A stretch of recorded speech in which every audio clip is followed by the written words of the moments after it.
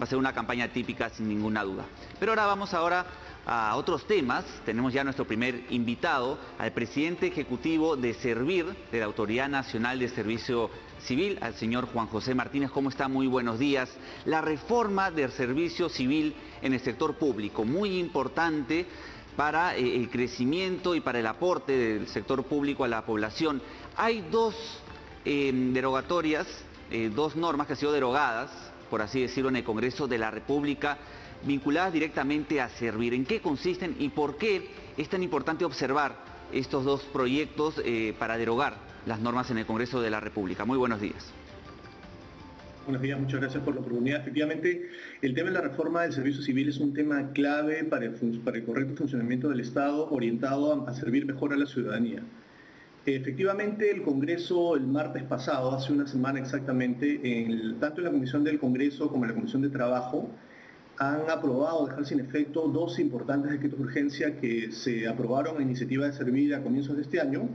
Uno tiene que ver con la negociación colectiva y otro tiene que ver con las indebidas reposiciones judiciales que se están haciendo de, muchas personas que ingresan de manera, eh, de manera irregular al, al sector público.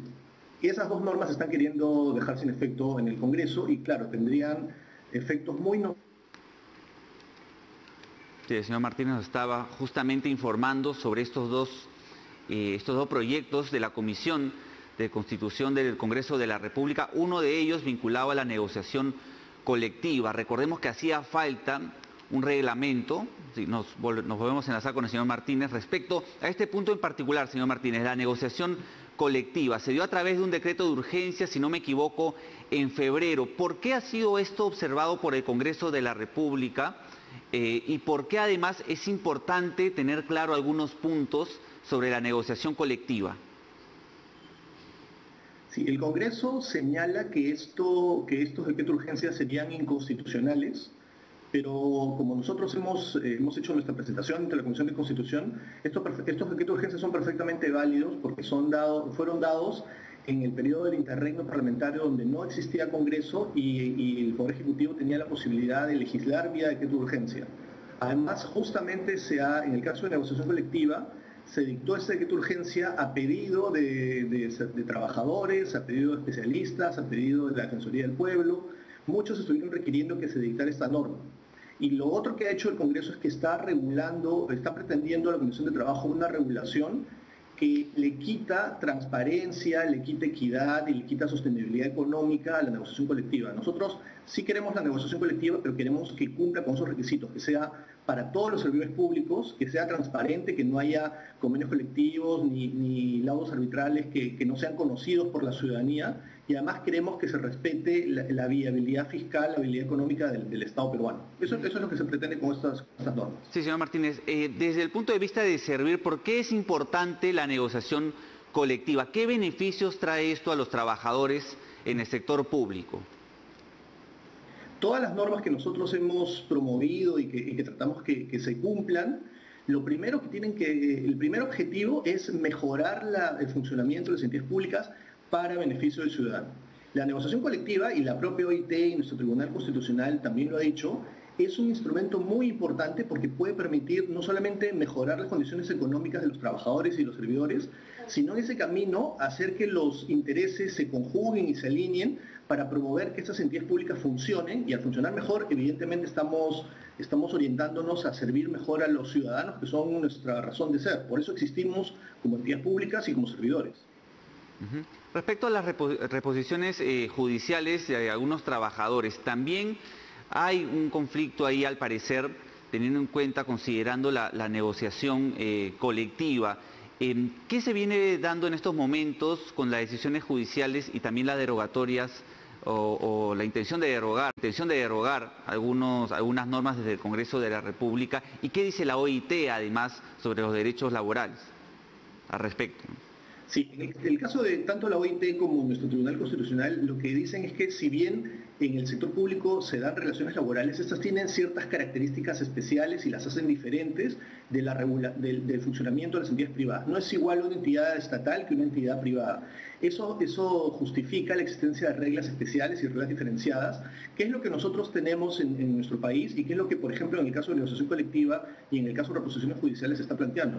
En el caso de reposiciones judiciales, especialmente ha estado ocurriendo que el Poder Judicial ha generado una jurisprudencia que, digamos, va a contracorriente de lo que han señalado, de lo que señalan las normas legales vigentes, de lo que ha señalado el Tribunal Constitucional, y ese decreto de urgencia del 016 sobre reposiciones judiciales, lo que establece son los parámetros por los cuales se les puede reconocer una relación permanente, una relación laboral permanente a una persona, y se establece que si se incumplen esas reglas, esa persona se le indemniza como por ejemplo existe también en el sector privado. No es que a esa persona se le deje sin ningún tipo de tutela o derecho, sino que se le da una indemnización en función a los años que ha laborado esa persona.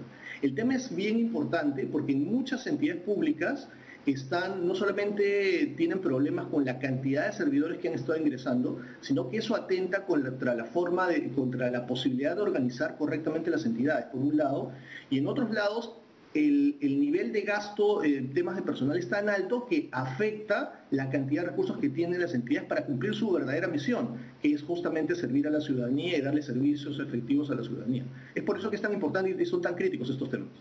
¿Ustedes estarían eh, a favor, en tal caso, si se llega a derogar este decreto de urgencia que se dio en, en febrero, a que con este Congreso, por lo tanto, tendría que aplicar un nuevo reglamento quisieran ustedes que sea similar al de decreto de urgencia, ¿están de acuerdo con ello? ¿O quizás se deberían dar algunos cambios o algunas eh, especificaciones en lo que se pueda aprobar posteriormente? Hay, varias alternativas. Nosotros, eh, aquí también una cosa que, que es importante y hemos hecho la exhortación también al Congreso, es que ambos decretos de urgencia están ah, en este momento, en, hay dos procesos de inconstitucionalidad ante el Tribunal Constitucional. Nosotros lo que hemos propuesto es esperar, y creo que sería una, buena, un buen mensaje a la ciudadanía, que tanto el Poder Ejecutivo como el Congreso esperen la decisión de un tercero imparcial, que además es la máxima instancia en la, definición de temas constitucionales, que es el Tribunal Constitucional. Los dos casos, los dos decretos de urgencia ya están ante este tribunal, ante el Tribunal Constitucional. Y no deberíamos, y deberíamos más bien exhortar al Tribunal Constitucional para que resuelva rápido ese tema, y lo que resuelve el Tribunal Constitucional, evidentemente lo vamos a cumplir todo nosotros, por nuestro lado, tenemos mucha confianza de lo que se ha legislado, de lo que se ha definido en estos decretos de urgencia, eh, es válido y está estrictamente ceñido a lo que el Tribunal Constitucional ya ha dicho antes en ambos temas. Mm, señor Martínez. creo que esa podría ser una buena solución. Así es. Sí, y, ya para ir culminando, eh, respecto a las negociaciones colectivas que se han dado durante la pandemia, eh, ¿de qué manera se ha venido dando esto? Si tienes algunas cifras quizás, y además la situación de los servidores eh, civiles en el sector público, ¿cómo se ha venido desarrollando en estos, en estos tiempos, en estos últimos meses? Bueno, a partir de marzo cuando entró en vigencia el decreto de urgencia, todas las negociaciones colectivas tenían que sujetarse a 014.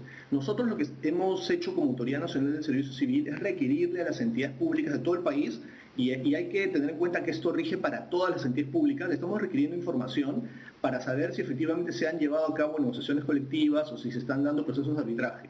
Eh, lamentablemente debo decir que hemos descubierto algunos casos en donde se han realizado negociaciones colectivas sin acatar o sin cumplir lo que las normas legales han estado señalando.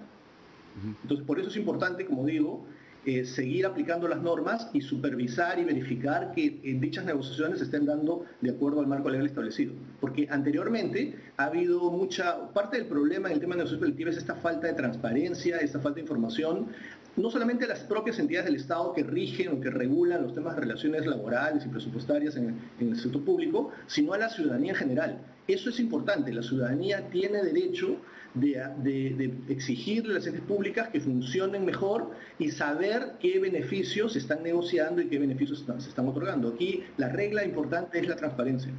Bien, señor Martínez, muchas gracias por su tiempo. Sin ninguna duda es muy importante que hayan reglas claras respecto a la negociación colectiva, un tema muy importante para eh, los miles de servidores eh, civiles en el sector público. Le agradecemos por su tiempo al señor Martínez, presidente ejecutivo de Servir. Nosotros nos vamos a una pausa, pero ¿con qué regresamos? Con el turismo.